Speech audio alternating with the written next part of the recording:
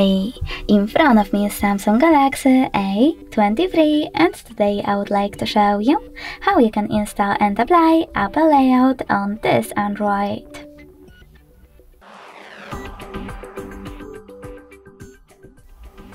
First of all, go into Play Store and click on the search bar.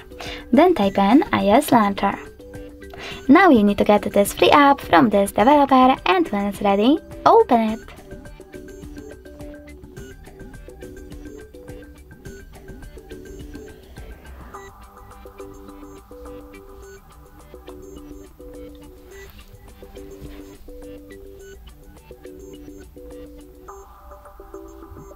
In order to use this app, you need to choose while using the app or only this time in the pop-up and tap on allow in this one and this one.